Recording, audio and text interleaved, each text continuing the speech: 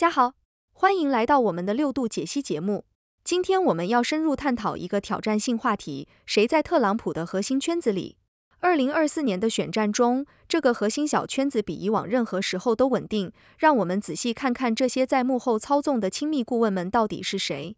这些人包括从他的竞选官员、政治特工到他的家人，他们如何影响特朗普的竞选策略？他们又如何在这次选战中保持高度的纪律性？请大家继续收看详细内容。欢迎大家收看本期特别节目，我是你的主持人。今天我们将深入探讨一篇来自《华尔街日报》的文章，标题为《谁在特朗普的核心圈子里？这些是他最亲密的顾问》。他详细分析了在2024年总统竞选期间与前总统唐纳德·特朗普关系最密切的顾问团队。在文章的开头，作者介绍了特朗普在历次竞选和总统任期内的一贯管理风格。他常常更换顾问，从竞选官员、政治特工到他的子女，几乎无一例外。然而，在2024年的竞选中，特朗普的核心圈子显得尤为小而稳定，他的竞选运作也比以往更加有纪律。在共和党全国代表大会的第一天，特朗普正式任命俄亥俄州参议员 J.D. 万斯为他的竞选伙伴。自2016年以来，特朗普的核心顾问团队一直由那些曾在政治领域为共和党服务的人组成。史蒂文章曾在特朗普的所有竞选活动和政府中担任重要角色，包括白宫助理、通讯主任。他是帮助任命最高法院大法官尼尔·戈萨奇的团队成员。托尼·法布里奇奥是另一位重要的策略师，在今年早些时候重新加入竞选。他在2016年竞选期间担任支持特朗普的超级政治行动委员会的首席策略师。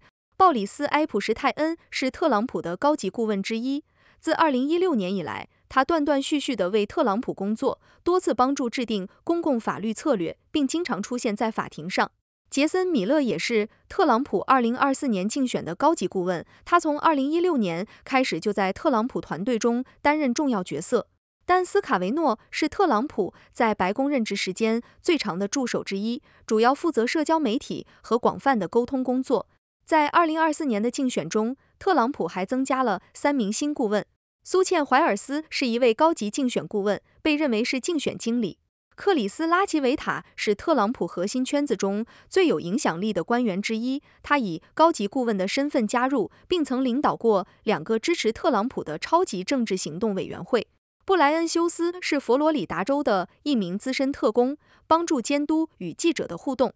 除了竞选团队，特朗普还有一群亲密的知己，他们虽然没有直接参与竞选，但继续在政策问题上提供建议。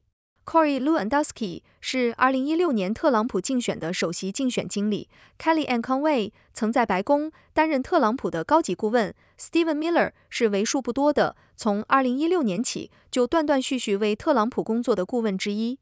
Kash Patel 和 Rick Grenell 曾在特朗普政府中担任多个重要职位，现在继续以外部顾问的身份提供支持。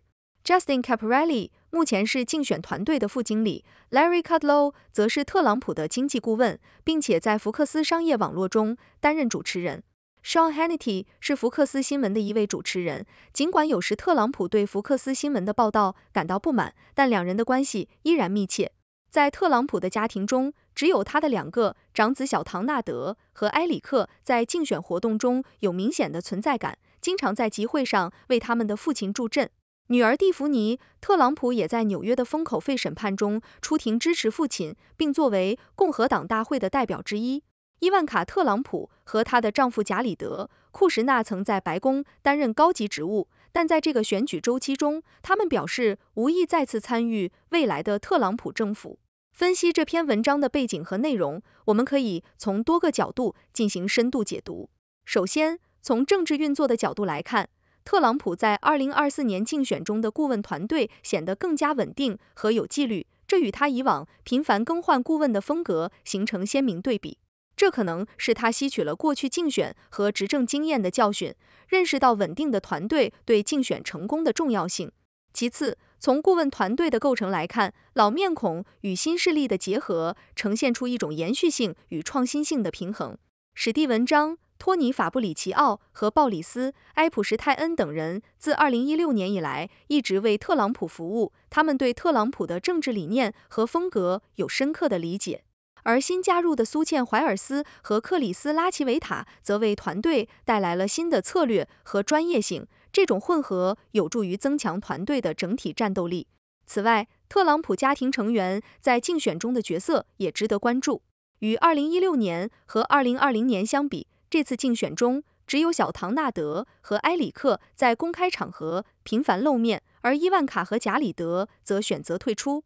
这种变化可能反映了特朗普家庭内部的策略调整，也可能是为了减少外界对家族主义和裙带关系的批评。另一个值得注意的点是特朗普的外部顾问团队，这些人虽然没有直接参与竞选，但在政策制定和舆论引导上扮演着重要角色。Corey Lewandowski、Kellyanne Conway 和 Stephen Miller 等人继续为特朗普提供战略性建议，而 Kash Patel 和 Rick Grenell。则在社交媒体和公共事务上为特朗普发声。这种内外结合的顾问体系，使得特朗普在政策和宣传上都保持了高度的灵活性和多样性。从媒体和公众的角度来看，特朗普团队的稳定性和专业性可能会对选民产生正面影响。过去几年，特朗普团队频繁更换顾问的混乱局面，曾被批评为缺乏稳定性和专业性。如今，这种变化可能会使选民对特朗普的领导能力和决策能力有新的认识。总的来说，这篇文章不仅为我们展示了特朗普2024年竞选团队的全貌，也引发了我们对政治运作、领导风格和团队动态的思考。特朗普团队的稳定性和专业性、家庭成员的角色调整以及内外顾问的结合，都是值得深入探讨的话题。感谢大家收看本期节目，接下来请继续关注我们的深入探索，我们会继续为您带来更多关于二零二四年大选的最新分析和报道。再见。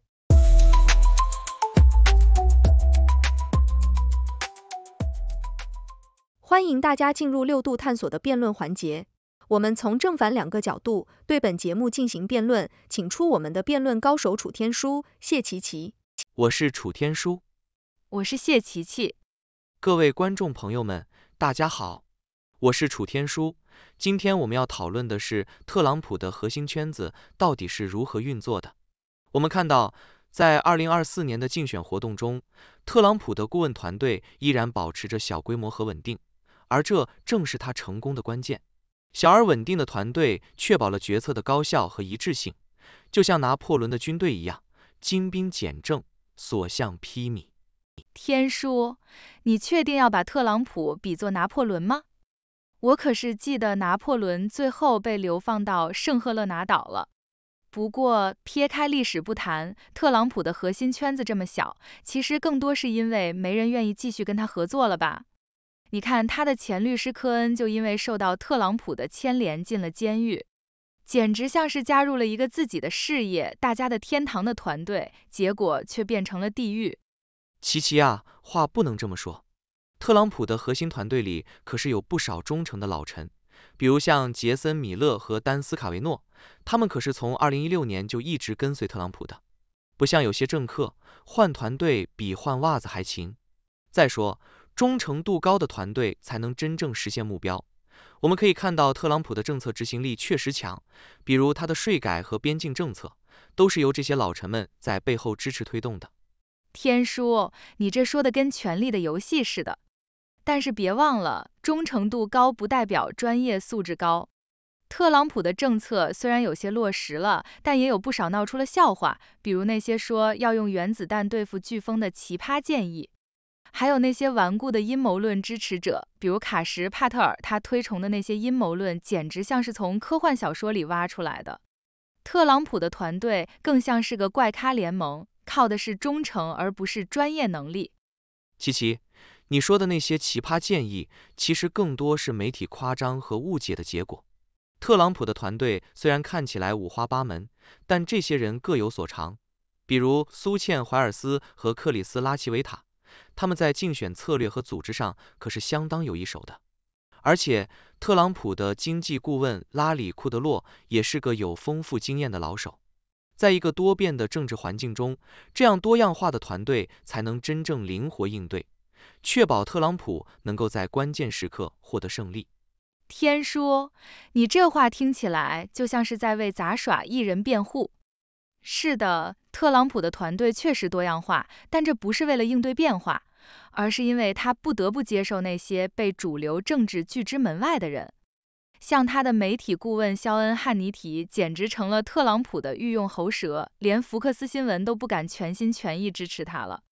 不管怎么说，这个团队更像是为特朗普个人服务的，而不是为国家利益服务的。这种小圈子政治只会让施政更加偏颇，最后受苦的还是普通民众。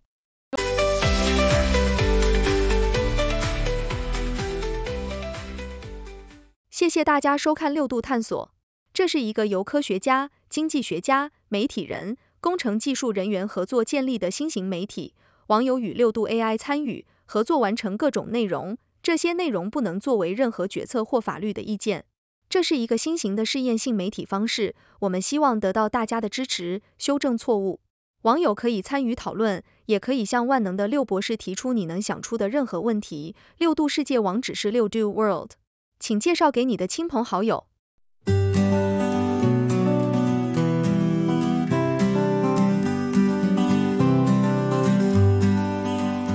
Got a question in your mind. We'll find the answer, we'll be kind. Encyclopedia on everything. Laugh and learn with the zing, zing, zing.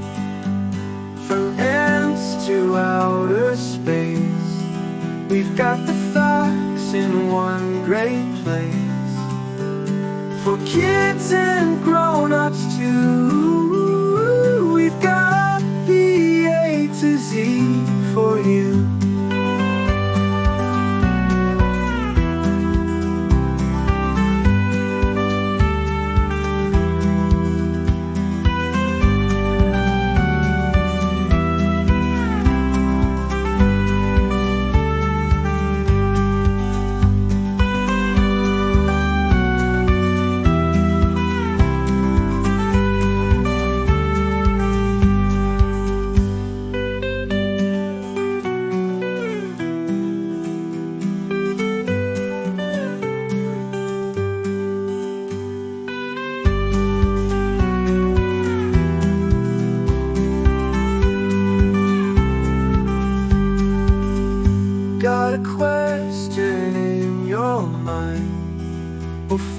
answer, we'll be kind. Encyclopedia on everything. Laugh and learn with the zing, zing, zing. From to outer space. We've got the facts in one great place. For kids and